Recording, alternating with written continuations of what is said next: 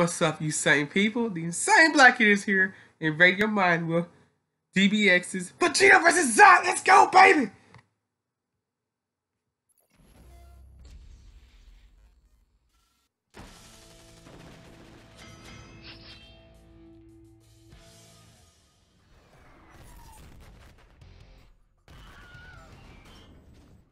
Don't forget to send a post. Vegeta!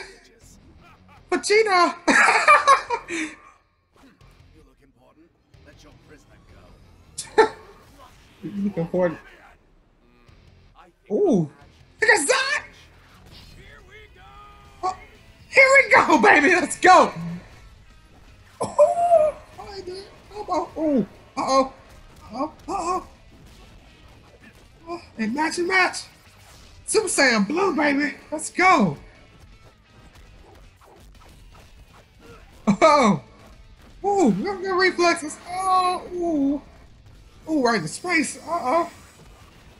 What power? It Oh. You were beginning to bore me. Then watch this ass. Huh. Final. Woohoo! Flash! Who was that clown? I am Zod. I win. Uh oh. oh shit. Oh.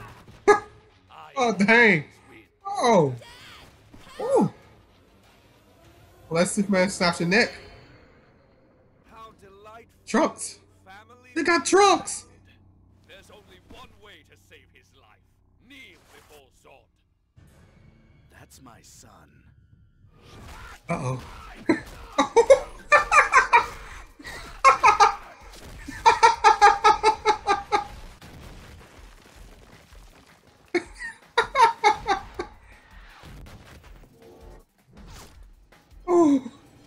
You guys sound right. Okay. Oh, still I did. Accept your place. You are nothing. Will father and son die together? Superior. Ready? Uh oh. Uh oh. Father, son, Gallagher fire! Oh yeah, baby!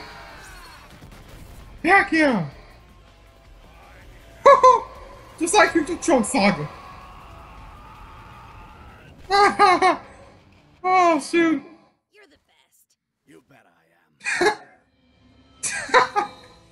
Always cocky as always. That was an awesome episode.